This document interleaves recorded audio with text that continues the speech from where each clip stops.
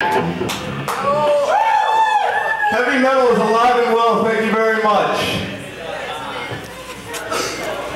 Hey! All right, this next is it the uh, Wait, wait, wait, wait. Wait, Where are you going anywhere? It's, it's, this this good shit? This is getting old because they, they switched over. It used to be like 107 proof, which we all just like drink from like Friday till Sunday, and it, it would just like in comas. And now it's it's now like 70 proof, right? They they chipped it on us. They got us hooked on this shit.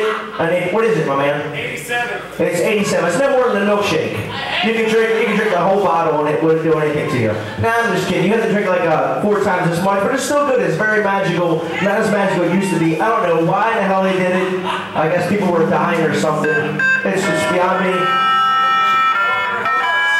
Anyway, when it was when it used to be the shit, we wrote a song about it. It's on our new CD. It's called Goldschlager. Yeah, like this. Like this.